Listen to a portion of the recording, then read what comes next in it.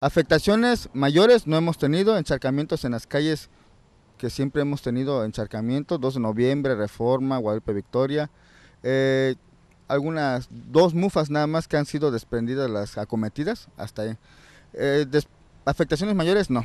El nivel de río se encuentra en su estado normal, los vados eh, siguen cerrados, sobre todo el vado de la Melchoro Campo. Nosotros consideramos que de acuerdo a la situación climatológica de nuestro municipio, consideramos que no es necesario la suspensión de clases, pero es importante que el Comité de Ciudad de Emergencia Escolar y el Comité del Padres de Familia valoren esta decisión y sean ellos los que tomen la decisión.